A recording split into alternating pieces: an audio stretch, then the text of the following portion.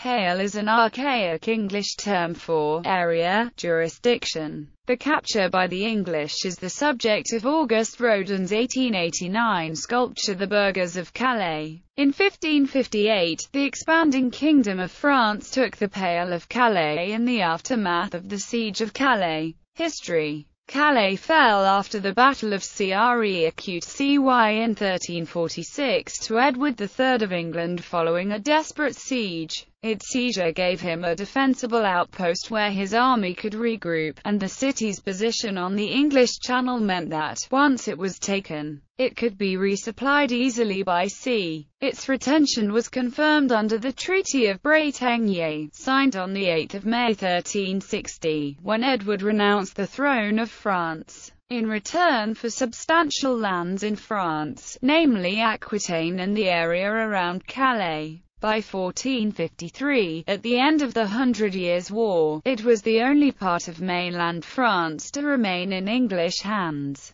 While it was possible to resupply and defend of Calais easily by sea, in the absence of any natural defense it depended on fortifications maintained and built up at some expense. However, its main defense had been that both the French and the Burgundians coveted the city but each preferred to see it under the English rather than their rival. Changing political circumstances with the division of Burgundian interests in the Low Countries between France and Spain meant that, in 1550 when England surrendered the area around Boulogne, which Henry VIII had taken in 1544, the approaches to Calais were opened. The Pale of Calais remained controlled by England until lost by Mary I of England to France in 1558 when, following secret preparations, 30,000 French troops, led by Francis, Duke of Guise, took the town of Calais. Its loss was recognized under the Treaty of Cateau-Cambrésis.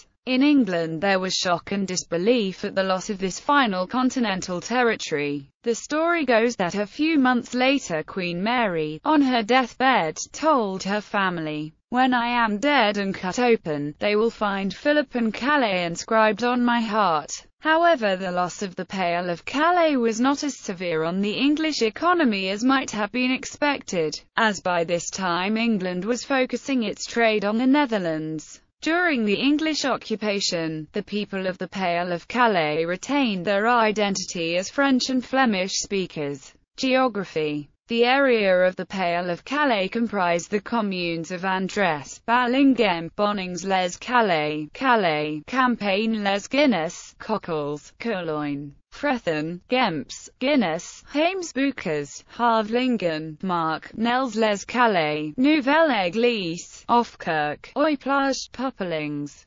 Behennes Guinness, Sangatte, St. Pierre, St. Tricat, and Vieille-Église. The area of the Pale of Calais is difficult to define because the boundaries were not clearly defined, due to swampy land and artificial waterways, and were constantly changing, but extended from Gravelines almost to Wissant and covered about 20 square miles. Furthermore, the French were continually reclaiming small pieces of the territory, particularly in the southwest. Much of the area of the Pale consisted of wetlands, and the territory was roughly divided into highlands in the west and lower country in the east.